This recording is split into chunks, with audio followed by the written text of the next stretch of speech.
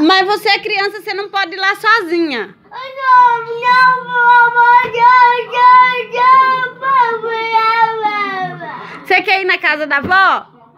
É na casa da avó que você quer ir? Daqui a pouco a mãe te leva, tá bom? Eu vou sair. Sozinha você não pode ir. Ah!